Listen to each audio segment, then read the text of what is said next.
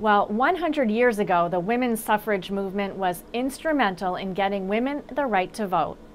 One of its leaders, Susan B. Anthony, was born right here in western Massachusetts. Steve Kiltonic went to her birthplace and has the story of her battle for the 19th Amendment.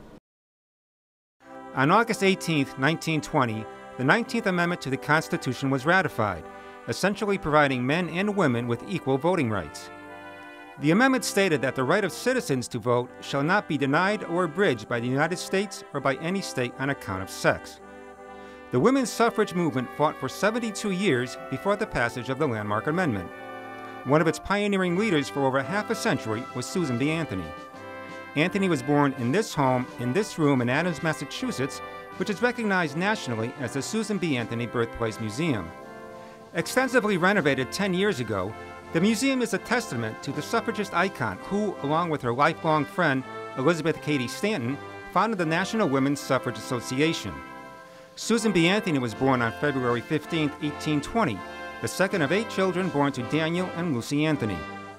Susan was raised in the Quaker faith. The meeting house where she and her family worshiped still stands in the Maple Street Cemetery overlooking Adams.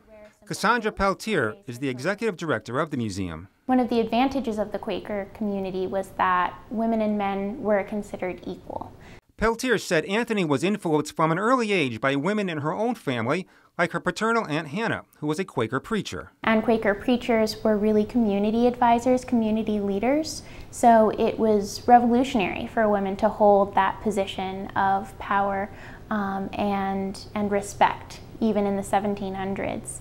And on the maternal side of the family, Susan's grandmother basically ran the family farm while her husband was at war. So, for different reasons, both sides of Susan's family showed her examples of strong, independent women who were considered equals with their husbands and um, encouraged to take leadership roles. Quakers opposed slavery and supported the abolition and temperance movements. Quakers believe that everyone has the same inner light connecting them to God, so at the most basic level, everyone is created equal.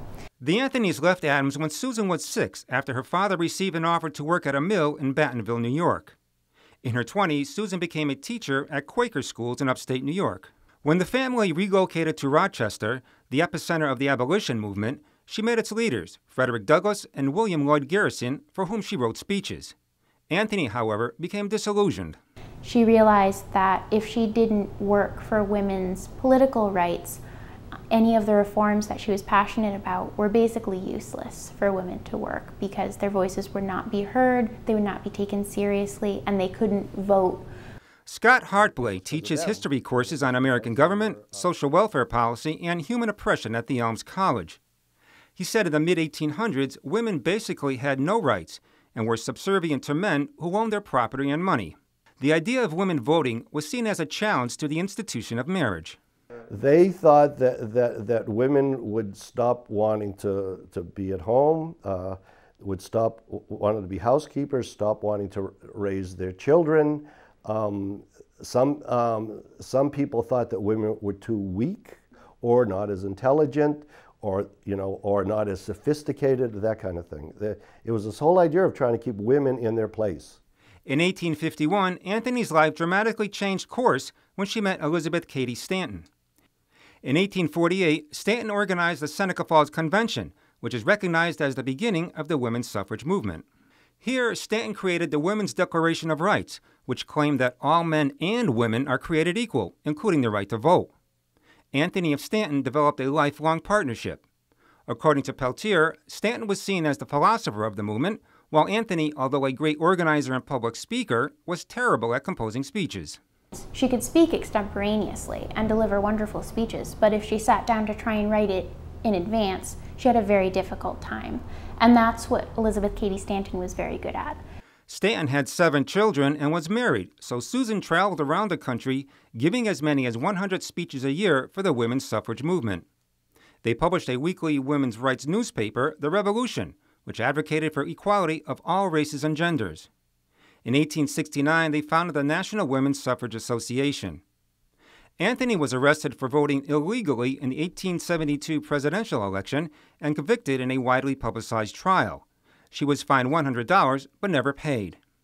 In 1878, Anthony and Stanton presented Congress an amendment giving women the right to vote, but it was defeated. In 1890, after disagreement over the 15th Amendment, which granted black men the right to vote, Anthony's group merged with the American Women's Suffrage Association. Women of all backgrounds started to take up the cause.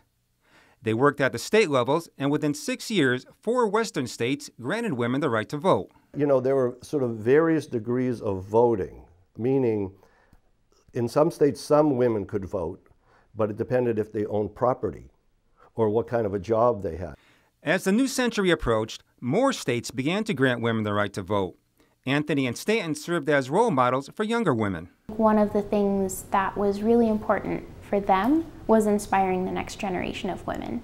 Um, Susan B. Anthony was known as Aunt Susan to younger women who were in the suffrage movement she was constantly writing back and forth with women in colleges, encouraging them to educate themselves on political processes. Neither Stanton or Anthony lived to see the 19th Amendment become law. Susan died on March 13, 1906, at 86. Neither one of them had any doubt that women would get the right to vote in the United States. It was just a matter of when.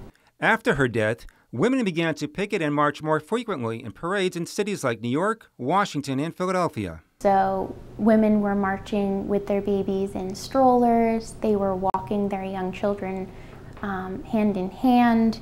They had sort of uh, choruses of young girls um, performing or walking along in costume. The white dresses um, were a way to look more feminine, since a lot of women who supported suffrage were seen as very masculine and threatening. As World War I began, legislatures in the House and Senate started to get more pressure from their constituents to enact a law. At the same time, the suffrage movement found an ally in President Woodrow Wilson. For him, it was the war, you know, the World War I, and women's involvement in work. Um, and suddenly they, they were taking on kind of different roles, and that it helped the overall, overall war effort, effort and that, um, okay, now they have a right to vote, you know, that, that they're, they're, they're equal to men. An amendment had to first pass Congress and then be ratified by three quarters of the states. When New York became the first eastern state to pass a referendum, a domino effect took place. After Tennessee signed on as a 36th state, the 19th Amendment was made official on August 26, 1920. Over 8 million women voted for the first time in the presidential election that November.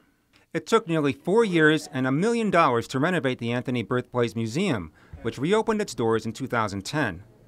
Its five rooms take visitors through Anthony's early days in Adams through her many years as activist. The museum exists to preserve the property and the house and obviously the collection and just raise awareness about Susan B. Anthony's legacy, um, even folks who live locally sometimes don't know that she was born here. What is Anthony's legacy? The majority of people I know, you know, look at her as a pioneer, look at her as someone who was ahead of her time, who had um, an unusual ability to see the big picture and then zoom in on, you know, the, the little things that she could do to work towards the better future that she saw. Before COVID 19 hit, there were plans in Adams to honor Anthony with a parade and fireworks on the 100th anniversary of the 19th Amendment. While those plans are on hold, a statue of Anthony, commissioned by the town, is still under wraps on the town common. It features Anthony giving a speech, and at the bottom of the stairs is Susan as a child reading. The, the story is that she learned to read at the age of three, um, and she was always precocious and trying to do all the things that girls weren't supposed to do. The statue is a fitting reminder of the crusading woman who fought so tirelessly and for so long on behalf of women's rights for the generations that followed. For Real to Reel, I'm Steve Kiltonic. The Anthony Museum has reopened to public tours with admission by online reservation only. We have a link at iobserve.org.